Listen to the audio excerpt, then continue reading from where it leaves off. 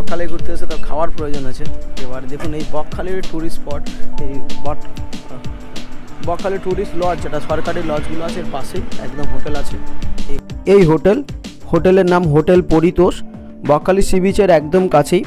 এখানে দুপুর, রাত সমস্ত খাবার পাওয়া যায়, আমরা অর্ডার করব এবং ভেতরে গিয়ে আপনাদের রিভিউ দেব। এই হলো মেনু কার্ড এগুলো কে দেখে, বেকার সব। দুই থালি অর্ডার করে নিয়েছি এখন। আমাদের ভাত চলে এসেছে। আর আমাদের ভাই লোক সব রেডি খানে খেতে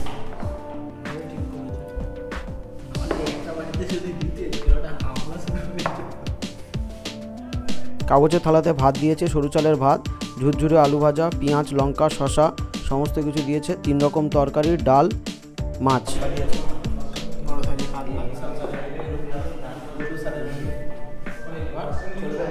খাওয়া হয় খেলা নয় খাওয়া হবে। এটা কিন্তু বকখালির একদম সি বিচের কাছেই। কোনো অসুবিধা নেই আপনাদের। যাওয়ার পথেই হোটেলটা যখনই সি বিচে যাবেন তখনই পড়বে। যখন আসবেন তখনই দেখতে পাবেন। মাছের মাথা দিয়ে বাঁধাকপি। এটা বাঁধাকপি আছে তো বাবু? এটা বাঁধাকপি আছে তো তাই বলছি। না দিতে হবে না কিছু।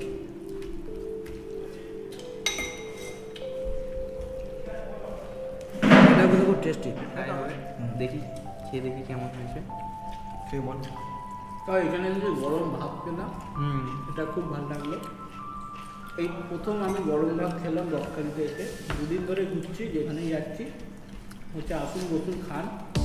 বাঁধাকপিটা খেয়ে দেখ ভালো হয়েছে। খাওয়ার পর দেখছি সবই টক। না বাঁধাকপি তরকারি তো মারাত্মক লাগে। বেশ ভালো করেছে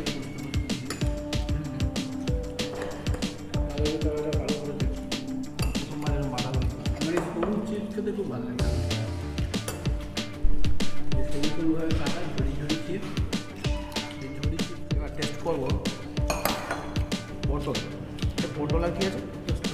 পোস্ত পটল জমে যাবে পটল পোস্ত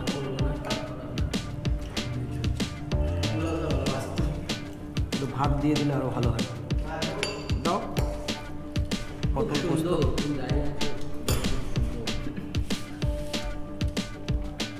ওয়াও পটল পোস্তটা পুরো অনেকদিন আগে কোথায় খেয়েছিলাম ভুলে গেছি তার কথা মনে পড়ে গেল কোনো জায়গায় ঘুরতে গিয়ে বা কোনো জায়গায় খেয়েছি কোনো রিলেটিভের বাড়িতে পটল পোস্তটা খুব সুন্দর। এই একটাই হোটেল পেলাম যেখানে খাবার খেয়ে না যে তৃপ্তি হয় এই তৃপ্তিটা পেয়েছি। আশা করি আপনাদের সঙ্গেও এরকমই সার্ভিস ওরা প্রোভাইড করবে।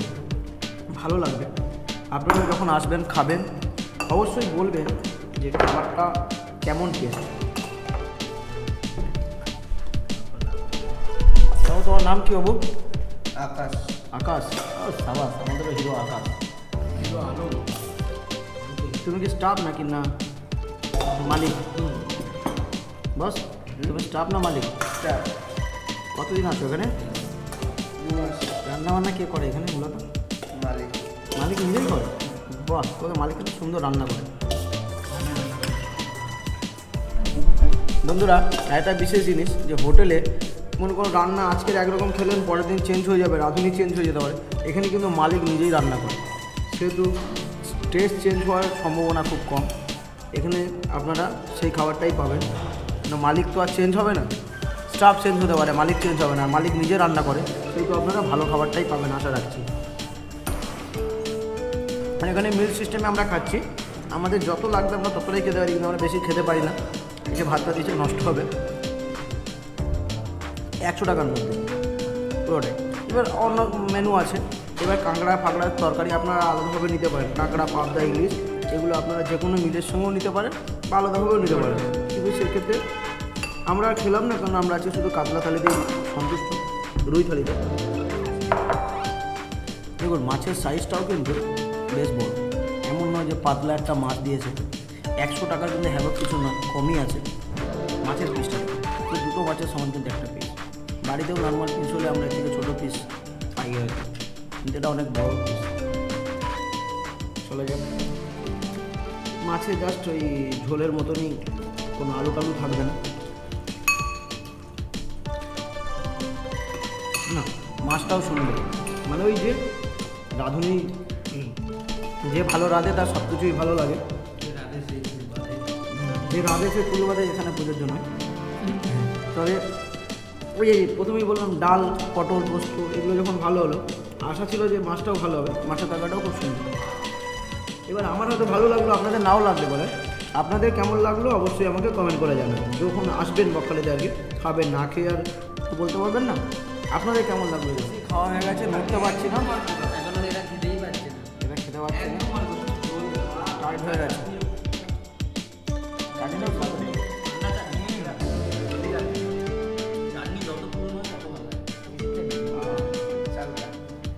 চালটা চাটনি হেভি হেভি ও লাভলি সরি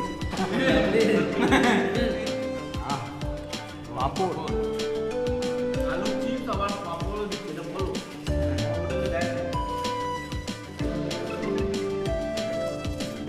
বেশি প্রশংসা করা ভালো না পরে নিয়ে দিল না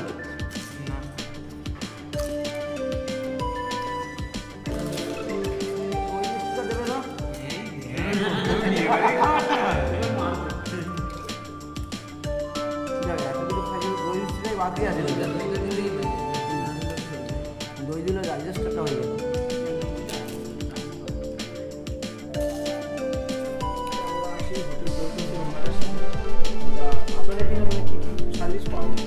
এখানে? এখানে ধরুন দুপুরে মিলে দু রকম সবজি, ডাল, আলু ভাজা, চাটনি, পাঁপড়, স্যালাড, একদম ফাইন ডাইস দিয়ে সত্তর টাকা করে মিল।